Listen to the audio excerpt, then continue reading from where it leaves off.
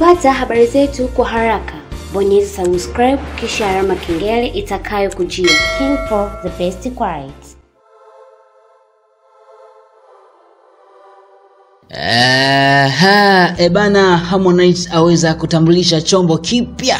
Eh, nikisema chombo basi jua chombo kweli kweli. E bana, siku zote sindano nyembamba ikishona koti ushangaza sana, lakini mwisho wa siku koti likiweza kubeba sindano nyingi mfukoni, watu wasiofurahia.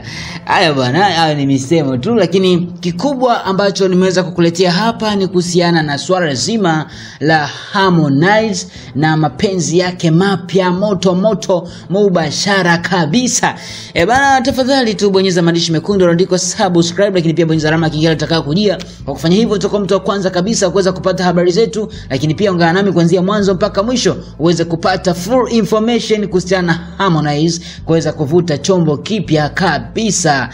E bana, mambo yamezidi kuwa mambo.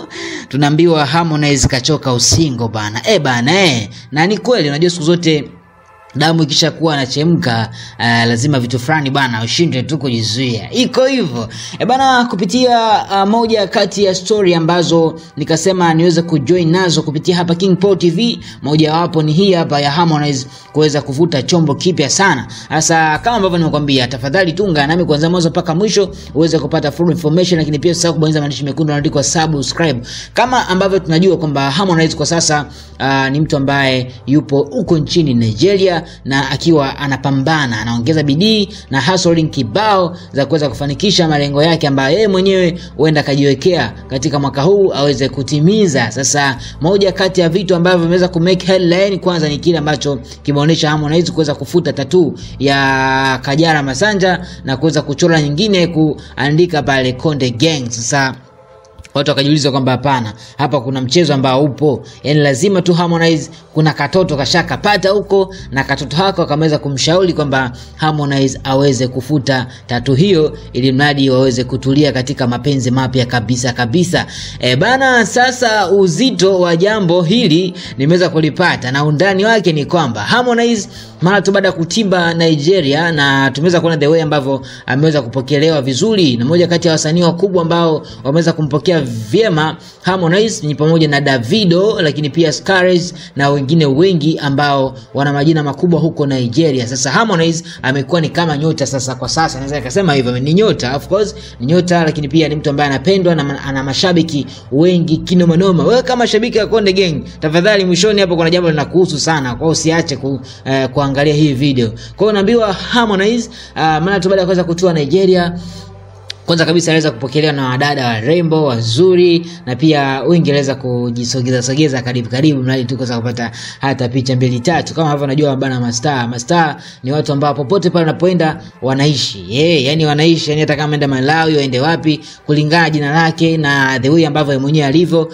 basi lazima aweze kupokelewa na yeyote yule ambaye atakuwa mbele yake. E bana, ishu kubwa mara tu baada ya Harmonize kuweza kuachana na Kajala Masanja wengi tukabaki kujiuliza kwamba inakuwaje kwamba Harmonize atakuwa single ndani ya muda gani, lakini pia je, na kama akipata mchuchu eh, atakuwa kutoka sehemu gani, lakini pia ataonekana vipi? Eh, lakini yeye mwenyewe Harmonize kupitia akaunti yake ya Instagram aliweza kuposti kwamba arudi wapi? Eh, Italy ama arudi Upareni, lakini watu bwana design kama wakamsuggest Sara TZ. Sasa Sara TZ akaweza kuposti picha kwamba yuko na mshikaji wake. Harmonize, akaona hapana, hapa tu na mimi nitulie, maana Sara ashaonyesha serious kwamba hayuko tayari kabisa kuweza kurudiana na Harmonize. Alikuwa ni majibu tosha kwamba wewe sio kwamba eh, kuandika kwako surudi Italy, hapana, huko surudi kabisa, kama mimi tayari nishapata mtu huyo hapa, kaweza kumtumia picha na kaweza kumuona. Sasa mambo ambayo wengi tulikuwa tunatamani ameshindikana bwana, acha tu ashindikane. Sasa Harmonize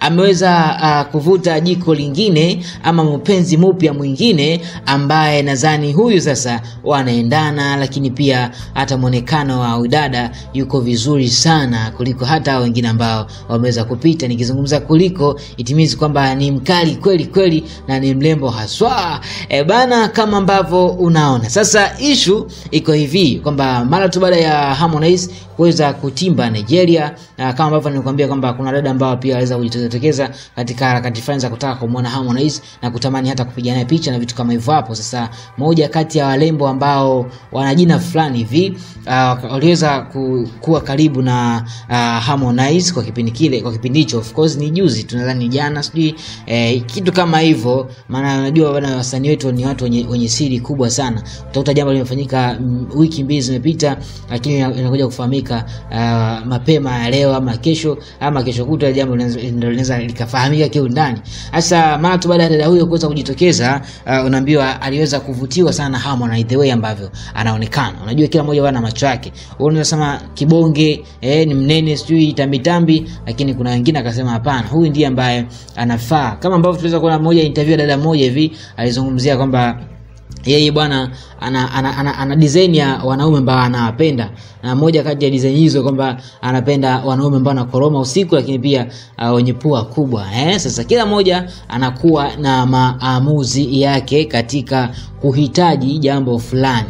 Hasa dada huyu bwana anaambiwa maana tu baada ya Harmonize kuweza uh, kutoka katika maeneo yale uh, unaambiwa aliweza kumtuma mtu uh, ni dada huyu aliweza kumtuma mtu kwamba nenda bwana kaongea na fulani yaweze kuwa haya na haya na haya, nitafutie contact zake contact zake eh bana eh, ili maliza kuwasiliana naye. Sasa issue uh, ikawa kwa upande wa Harmonize na mambo yakawa fresh na katika kuwasiliana naye eh, wakajikuta kwamba wote wameanza kuelewana kama ambavyo unajua bwana Makonde na kama ambavyo unajua sisi bwana wanaume yani iko hivyo yani.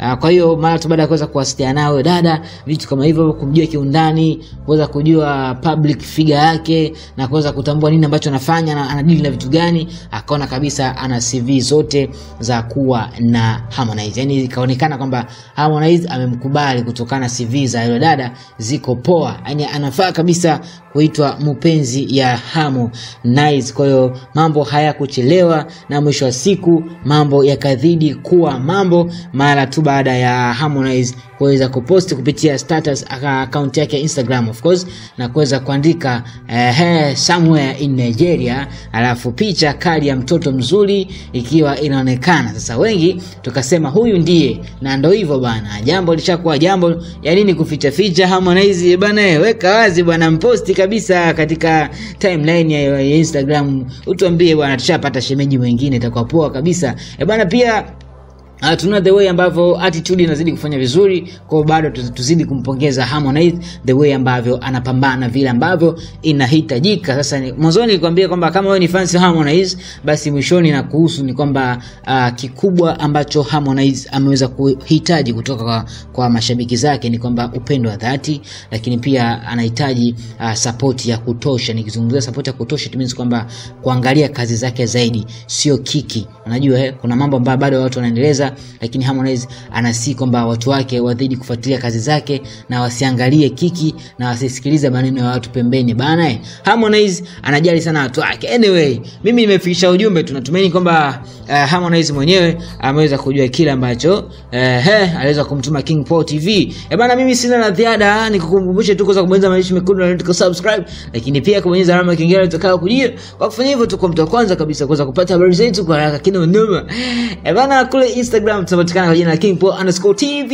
Eh, he, Facebook utapatikana kwa jina la Kingpo. Ukiadi friend utakuwa umetusheki na mnoma, lakini kule Instagram kama utaweza kutufollow follow, then kama na sisi vipi vipi, eh, tutakujibu kwa ujumbe wako wewe ambao utatumia. Sawa bwana eh, eh, sasa uh, comment hapo chini utakuwa poa zaidi, lakini pia share link na wenzako, alafu mimi niseme Mungu akubariki sana kwa kuweza kufuatilia Kingpo TV, lakini pia tuweze kumwombea Mama Samia Suluhu rais wetu aweze kuliongoza taifa letu kwa ujumla katika hali ya utulivu na amani kabisa. E bana, mimi sina la ziada kabisa, ngoja leo nimalize kwa kupoa kabisa, na hii ni King Paul TV, the best quality.